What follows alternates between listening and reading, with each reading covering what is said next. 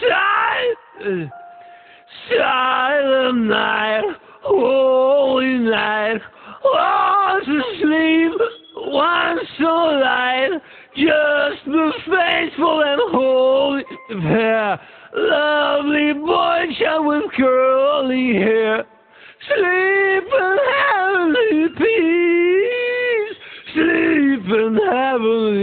sleep in heavenly peace.